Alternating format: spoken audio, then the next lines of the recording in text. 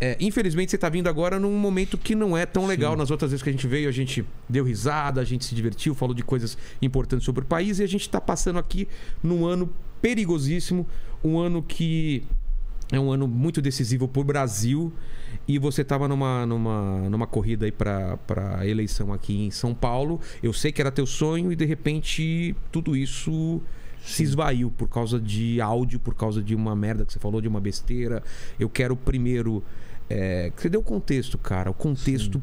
O que, que deu na cabeça? De repente eu vou lá para para no meio da guerra ou na Sim. fronteira? O que, que aconteceu? Vamos lá. Bom, em primeiro lugar, cara, obrigado por você ter me chamado, por me dar esse espaço. Obrigado a todos que vão me ouvir. Só, só para dar um contexto, eu ainda falei, cara, será que não é cedo você vir para cá, deixar passar Sim. mais tempo? Eu ainda te falei, cara. não, eu e, acho- e- eu, e eu não ia vir, eu não ia reaparecer agora, mesmo porque eu não tô 100%. Exato. Minha cabeça não tá 100%. É por, é por isso que eu tô te falando. Eu falei, como que você vai falar agora se você ainda tá afetado, tá abalado o que aconteceu? É, cara, mas assim, eu fui meio que tirado porque eu vou ser caçado amanhã. Ser caçado amanhã. E isso, é, assim, vou ser caçado? Então, então Tem tudo bem. grandes possibilidades, então. Tem, cara. Então eu vou pra cima e vou falar a minha versão e vou cair atirando. Se for pra cair, eu vou cair atirando e vou te falar, meu. Se cortar na minha cabeça, vai nascer três no lugar. Isso eu tenho certeza absoluta. Não adianta. é, é, a gente sabe que isso não é sobre o que eu falei, mas sim sobre quem eu sou. Você acha, Né? você acha que vou colocar uma, uma um si aqui.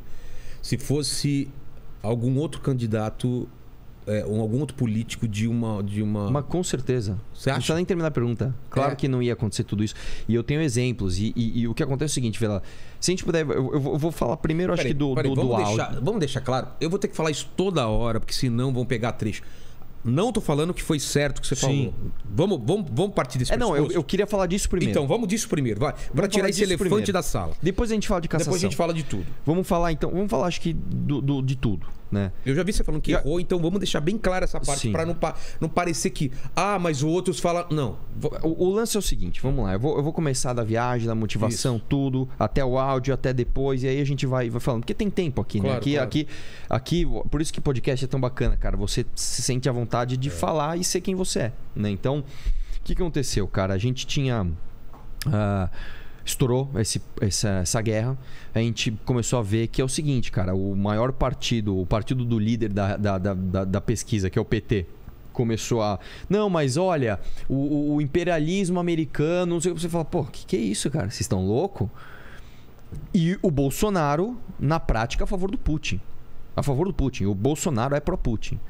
Isso não é possível. Não é possível que nenhum outro político vai é, ser mais incisivo nisso. Vamos fazer? Vamos. E aí o Renan teve a ideia. Falou, meu, você tem a moral de ir pra lá? Eu falei, cara, eu tenho. Aí, é, vambora, vambora, vambora. Era carnaval. A gente falou, bom, é, é feriado de carnaval. Eu vou tirar minha licença, né? Eu vou ficar fora e vamos com o nosso dinheiro. Era uma sexta-feira, vamos pesquisar as passagens. As passagens estavam muito caras. A gente desistiu. Tava caro, tava tipo 15 mil reais uma passagem. Puta, cara, não tenho. Você tem? Não. Então não dá. Então não deixa, deixa quieto. Mas o que, que você queria? Você queria ter uma experiência de Não, saber cara. que era. A nossa ideia, a nossa ideia era o seguinte: a gente precisa ir lá e mostrar sob a nossa lente o que está acontecendo. Que é o seguinte: eu- eu Ah, encontrar a pessoa e falar assim, vem cá, o que está acontecendo aqui? Fala pro Brasil. o Fala tá real, Fala real. real. Não é, aqui não é rádio, aqui não é, Entendi. é, é, Não vai passar por, por, por editorial. Aqui é direto. Você vai falar na câmera e eu falar vou vai mandar. aparecer. É isso aí. E ver o que acontecia, cara. É um negócio meio assim. né? A gente não tinha planejamento. Vamos lá, a gente precisa mostrar porque está acontecendo o evento mais importante do século. A nossa geração provavelmente não vai viver um evento tão importante para o mundo ocidental como isso que está acontecendo, né? É, nós temos é, literalmente um país englobando o outro. Assim, eu quero este território para mim. E os países ocidentais. Em um né? país que tem bomba OTAN. nuclear. Não, tem- e, e os países da OTAN, assim, o que, que faz? Faz o quê? Bá. Né, Nesse movimento, a China se, se, se coloca com a União Soviética. Bom, então vamos invadir Taiwan também. E aí, cara, e aí? É Terceira Guerra Mundial? Nós vamos deixar acontecer? Enfim. A ideia nossa era fazer isso. E, bom, vambora, vambora. Deu sábado lá, eu, puta, não consigo pensar em outra coisa. Liguei pro Renan, Renan, você tá conseguindo passar teu final de semana? Não. Eu tô olhando passagem nesse momento. Quanto tá? Ele falou, tá metade do preço. Eu falei, bora, vambora. Dane-se, vamos gastar dinheiro, vambora. Compramos e fomos. E essa é uma parte importante de deixar claro, cara. Quando eu cheguei lá, o que, qual foi o nosso planejamento? A gente, você não pega um voo pra Ucrânia. Nós pegamos um voo pra Viena. De Viena, nós alugamos um carro, entramos na Eslováquia de carro, atravessamos a Eslováquia inteira de carro. Isso, cara, tô falando assim, sete horas de viagem. Para chegar na última cidade antes da fronteira da Eslováquia com a Ucrânia, que se chama Kosice. Uma cidade que a gente chegou lá. Cara, chegamos sem nada, assim, chegamos, chegamos com o carro. Mas a ideia era até Kiev ou não? A, a, a, ideia era entrar na Ucrânia, mas a gente não tinha a menor ideia ah, como entrar. Nem sabia. Como é que entra? Não sei. Até Vamos... onde a gente pode ir? Não sabemos. Até onde a gente pode ir? Como é que entra? Vamos, vamos ver o que vai acontecer. Chegamos lá, beleza, chegamos tarde, tal, dormimos, acordamos. Aí a gente viu num, num, numa praça que estava rolando uma movimentação, fomos lá ver o que, que era. Nós conhecemos um, um, e até o meu áudio para você era sobre isso. É. Nós conhecemos um pessoal, um movimento de jovens que estavam fazendo doações, né? Espontaneamente trabalhando em pegar doações e levar para a Ucrânia. Espontâneo, cara. Cara, espontâneo. você tava muito empolgado no áudio. Cara. Fala, cara, puta, que legal. Mas é que é inacreditável. É. O que eu vi lá, assim, foi uma lição de vida. O senso de civilidade daquelas pessoas é um negócio inacreditável. Tipo assim, um monte de jovem de 18, 19 anos falando: meu irmão, eu não faço mais nada. Eu fico aqui trabalhando voluntariamente 12 horas por dia. E o clima lá não era um clima pesado, era um clima. É, é, eu não vou dizer agradável, mas era um clima de brincadeira, era um clima de gente jovem. Cara, eu, eu até é, tava falando. Chegou um, um, moleque da Alemanha, um moleque X, chegou num trailer. E aí, pessoa simpaticão, quer ajudar. E você fala, cara, que, que coisa que tá acontecendo aqui? As pessoas estão realmente fazendo isso. E a gente falou, como é que a gente pode ajudar? Eles, cara, vocês podem ajudar carregando coisa. A gente começou a carregar coisa e tal, entender. A gente falou: olha, cara, a gente tem rede social grande no Brasil. Vocês querem fazer uma live e mostrar pro Brasil o que está acontecendo? A gente pede doação? Pede. Aí eu vou fazer o seguinte: eu vou ligar o superchat, a gente pede a doação, tá tudo certo. Eu tinha expectativa assim de gerar uns, sei lá, uns 2, 3 mil reais. Liguei a live e esqueci de ligar o superchat, cara. Que eu sou mó prego com isso. Cara, liguei lá no celular e falei, puta, esqueci o superchat. Aí o Renan falou, cara, faz o seguinte: é, manda Pix nesse e-mail e o que receber a gente vai enviar. Cara, estourou. Deu tipo 250 mil reais. O quê? 250 mil. Os caras não acreditaram. Meu Deus, não acredito. Eu falei, cara, vamos fazer o seguinte. Liga na embaixada da Ucrânia. deu mais do que se fosse Pix. Cara. Muito mais, muito mais. Muito mais. Liga na embaixada da Ucrânia, vê como é que você, como é que faz agora? Porque nós temos o que que eu faço agora? Aí eles deram todo um procedimento que era que é super ultra burocrático. Você tem que pagar imposto, não é simples, cara. Tem que fazer tudo bem. E aí o rapaz que tava lá falou: Cara, vamos fazer o seguinte: uma parte da doação a gente vai lá e compra agora, porque os caras estão precisando agora. Eles estavam precisando principalmente de pilha e kit médico. Né? Eles falaram, cara, a gente precisa de pilha para walk-talk de, de, de, do exército. Fomos no mercado, compramos algumas coisas, os mantimentos, fomos na farmácia, compramos, levamos para eles. Eles falaram, cara, obrigado tal. Aí eles falaram o seguinte: só que agora a gente tem outro problema, cara. A gente precisa levar isso para lá. E a gente não tem gente para ir, porque a maioria das pessoas que estão aqui ajudando são ucranianos. Se a gente entrar, a gente tem medo de não conseguir sair. Então, por exemplo, tinha muito ucraniano lá que estudava na Eslováquia, como eu te falei. Então, sei lá, você tinha lá uma, uma sala de 200 pessoas que eram ucranianos que estavam estudando na Eslováquia. E eles falaram, cara, quando estourou a guerra, eu não vou voltar para lá. Claro. E se eu voltar, não sei se eu saio. Então, eles estavam convocando não uh, ucranianos para irem lá. Quem vai, quem vai, eu não vou, quem vai, eu não vou, eu não vou. Cara, vocês podem ir? Aí foi pro Renan, e aí, vamos? É, vamos, né? Então vamos, vamos, vamos, vamos. Vamos como? Ó, a gente tem os carros, tem os caminhões, né? Tinha os caminhões, as vans que a gente encheu. Você dirige, dirige, você dirige, dirige. Então, ó, vamos dois em cada carro. O planejamento era o seguinte: a gente vai passar por uma fronteira aduaneira, não era uma fronteira de pessoas, uma fronteira de produtos. Nós vamos entregar isso aqui numa como, igreja. Como estavam as fronteiras? Então, até então a gente não sabia. Eles falaram assim: ó, vocês vão pegar um carro, vocês vão num comboio, vocês vão atravessar uma fronteira aduaneira, entregar isso aqui numa igreja, que tem um padre lá que vai receber, e vocês vão cidade? voltar. Puta, não sei. Uma cidade de fronteira. Ai, eu, perto eu, da fronteira. Eu, eu, tô com medo de falar o nome errado, mas talvez seja Uzhorod. Tá, Acho que era esse o nome. Tá. Vocês vão ficar duas, três horas, quatro no máximo dentro da Ucrânia. Tá. Ótimo, é seguro, é, é seguro. Vai lá, entrega isso e volta. E volta. Tá. Beleza. Fizemos o comboio. A Eslováquia, ela tá a ao... leste. A leste, tá. Uh, a oeste, desculpa. A ela oeste, tá a oeste. Tá. Então, assim, a Eslo... Assim, você tem Eslováquia, Polônia, e aí você tem a Ucrânia e a fronteira mais lotada de todas, a que tava ruim mesmo. É a da Polônia, Era da é? Polônia, porque é. todo mundo queria ir pra Polônia. É, tanto que veio um casal de refugiados, eles, eles passaram pela Polônia e tava uma doida. A Polônia, a Polônia, sim. A Polônia, tanto que quando a gente pesquisou no Google Maps aqui, todo mundo falou: não vá pela Polônia. É. É, não é vá pela Polônia. A maior treta Cê- lá. Cara, É. não vá. A gente teve- viu outros países, eu agora não lembro se era Hungria tal. Cara, o Tá. melhor país, o menos pior pra você é a Eslováquia, Tá. que é o mais vazio e, enfim, é onde tá mais tranquilo, porque é um país pobre. É um país pequeno também. É um, é- é- é- é um país pequeno, é. um país pobre e as pessoas não querem ir pra lá. Então Entendi. você meio que, ó, sou brasileiro, entrei e saí, tudo bem. Vamos lá, vamos. Aí carregamos todos os carros, tal, todo o comboio. Aí chegou um cara, o, o cara que era o coordenador de toda essa operação lá. E ele é um cara super rude, cara, super grosso. Eu vou falar de tempos em tempos aqui. O que ele falou tá errado. É uma merda, porque senão, né? Fica a O pessoal história longa. que- É. Nossa, o cara tá contando historinha. O que ele falou Não, tá e errado. outra, nós vamos Continua chegar sendo lá. errado, tá? tá? Nós vamos chegar lá. Vamos chegar lá. Porque Eu, eu nem cheguei ainda na É, Ucrânia. senão os caras vão falar, nossa, o cara tá contando historinha e não vai falar do... Continua errado, tá? Mas vamos, Vamos lá. da história. é. Cê- Eu tô falando assim, eu tô. Isso eu já tava três dias lá. E você na- viu de papelada como que era pra atravessar a fronteira? Era tranquilo? Eu não sabia nada, cara. Então- Aí esse coordenador, que ele era um cara super rude, assim. é, é, o exemplo que eu dou, que, ele- que eles me deram lá é o seguinte: quando a gente vai pedir, por exemplo, me espera cinco minutos, como é que você pede? Você fala, Meu, você pode me esperar cinco minutinhos? Eu vou ali, já volto. É cinco minutinhos, beleza. Tá. Como é que eles são assim?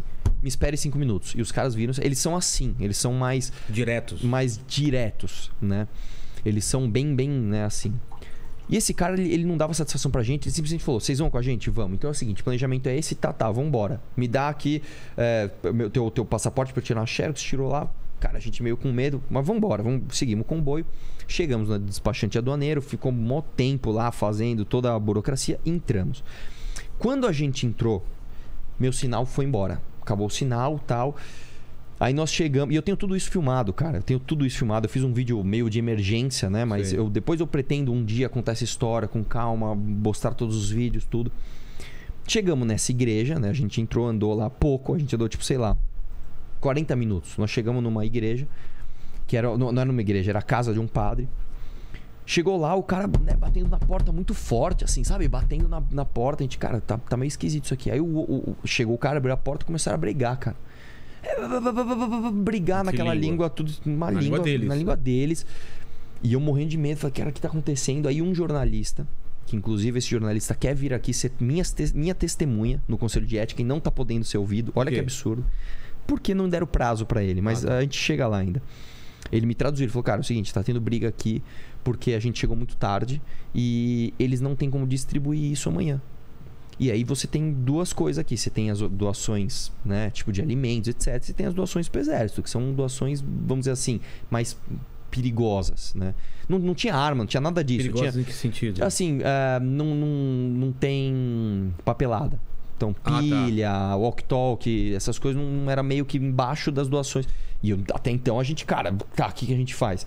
Cara, vocês vão ter que ficar aqui. Vocês vão ter que ficar aqui, vocês vão ter que ajudar a distribuir amanhã. Aí eu já gelei, né, cara? Eu já gelei, falei, meu Deus, cara, tô tenso. Eu já tava sem dormir, sem comer há dois dias, né? Porque a gente tava lá ajudando, de repente, ó, nós vamos agora. Não, mas, eu nem- não, cara, não dá tempo pra você ir no hotel. Você tem que ir agora. É, vamos aí. Então vamos, então vamos. Chegamos lá, bom, enfim, dormimos, distribuímos tudo.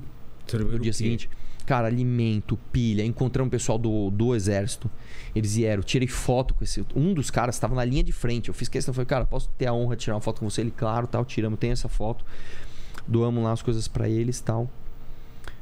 Beleza, tal. Bom, vamos embora, vamos embora. Na hora de ir embora, o cara falou, cara, tem mais. Isso a gente passou o dia fazendo, né? Entregando coisas. Eu fiquei 24 horas dentro da Ucrânia. 24 horas. Então, mas como você não falou o lance de- da fronteira? Não, eu entrei, eu entrei, eu entrei, eu entrei pela fronteira aduaneira. Sei. a gente ia sair pela fronteira aduaneira, que era, era a fronteira de cargas. Ah, tá. Aí que deu uma zica. Na hora de ir embora, o cara falou assim: você não pode. é, a gente encontrou aqui duas famílias de refugiados e nós vamos colocar eles no carro. É, vocês são, são de fora, vocês vão andando, vocês vão pela fronteira a pé. Aí eu falei, cara, mas tô com medo, porque na fronteira a pé, eu não, não entrei pela fronteira a pé, eu vou conseguir sair? Aí o cara, cara, vai. Vai porque você vai para uma fronteira mais leve, que é uma fronteira que a imprensa tá passando. E o jornalista falou assim: vem comigo que eu sou imprensa, você sai também.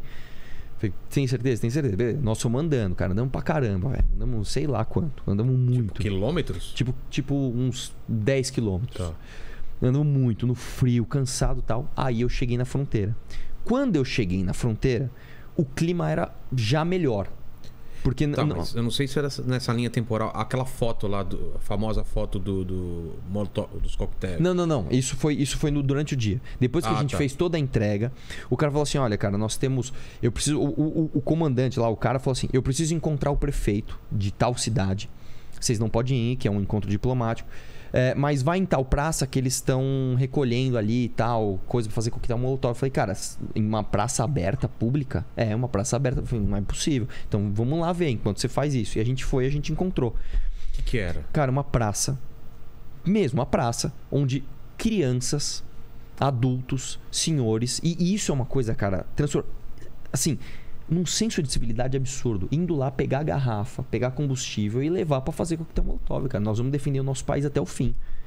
Pegando isopor, ralando isopor, porque quando você rala o isopor, não sabia também, você põe o isopor dentro do coquetel molotov, quando estoura tudo lá, o isopor gruda na pele, dá mais eficiência, fica Ah, é? queimando por mais tempo. Cara, Cara, uma coisa completamente fora da nossa realidade. Quando eu olhei aquilo, eu falei, cara, que coisa louca, cara, que coisa transformadora, tal. Beleza, vivemos tudo isso. Mas você fez o coquetel? Encontramos os caras, tal. Fiz toda essa. Depois desse co- do Ah, coquetel tá. eu te explico. Porque é isso que deu confusão. Não, isso, isso aí é menos, mas Tá, depois eu te conto essa Tá parte. Não me enrola, não, cara. Não, não vou te enrolar. Fomos embora. Na hora que fomos embora, o cara falou: Cara, encontramos casais aqui ah, de refugiados, nós vamos levar, vocês vão ter que andar. Tudo bem, vamos andar. Aí a gente começou a voltar. Isso já era tipo, eu nem sei te dizer, umas, umas 7 horas da noite por aí. Já era escuro, já tava escuro.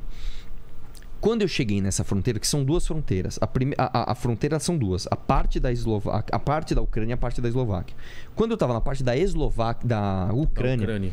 Que nós chegamos na fila, o cara falou, aí eu vi a bendita fila, né? Cheio de gente. E o clima não é. É uma coisa difícil de te explicar aqui, mas assim. Eu não era um clima. clima não era tenso, isso. Não era isso. choradeira, gente com filho. Não é isso. Não era isso. Era uma fila, e eu tenho tudo isso filmado. Era uma fila de pessoas recebendo chá, recebendo pão. O pessoal tratando você, cara, super. Você não tem noção de como que é. Cara, boa noite. De onde você é? Sou do Brasil tal. Ô, pô, que legal, cara. Você veio fazer o que aqui? Pô, vim, vim mostrar aqui a realidade. Pô, que legal. Espero que você tenha sucesso no que você tá fazendo. Assim, um clima, cara. As pessoas te tratam super bem. É um negócio super diferente do que você espera aqui. A- a- os policiais, tu- tudo diferente.